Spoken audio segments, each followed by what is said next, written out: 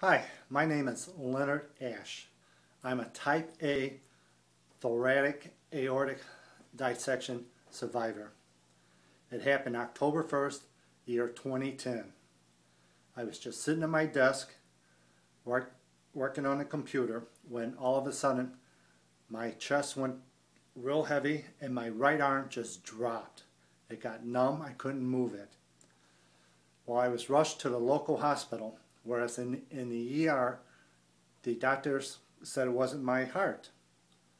So they started questioning my wife. And she mentioned that my mother had passed away a few years ago from an aneurysm. With that, they decided to give me a CAT scan. That's when they found the dissection and immediately sent me up to the OR. Luckily, there were some good surgeons on hand and they saved my life.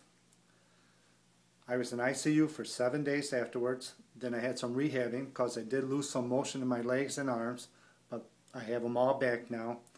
I lost 45 pounds. Well, they want me to lose more, but it's a little hard now. But uh, I'm a survivor. I just had my six-month CAT scan done, and it came back as a good report. It enlarged a little, but nowhere's to be concerned.